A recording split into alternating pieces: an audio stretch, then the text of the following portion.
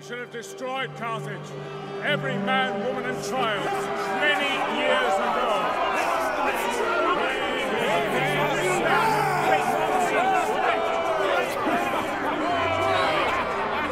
Enough! Saguntum is lost, and our Western allies have failed us. Where was the last report of his whereabouts? My spies in Iberia tell me his fleet has sailed. We must expect an invasion at Massalia!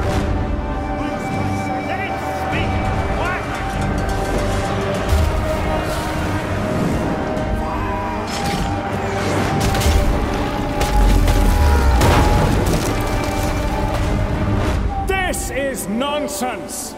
No fleet has sailed. Rome controls the Mediterranean. He's not attacking, he's making allies. At this very moment, he courts the Macedonians, the Greeks. Illyria will rise up against us, and the Adriatic will be lost once more.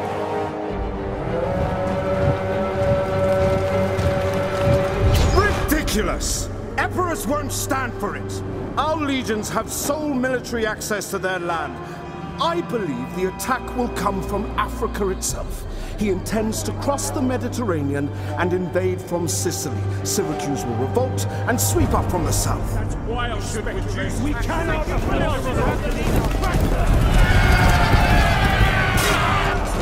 He will come not from the south, nor the east. Our mercenaries in the north report that he has forged an alliance with the tribes of the Po Valley.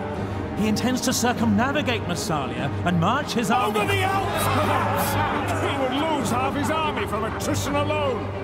The other half would desert. We must defend the mountain passes. Do you expect the Gauls to welcome him when he arrives? I suppose he will bring with him an army of elephants! Senators, I dare say that would be quite a feat, even for the great Hannibal Barca.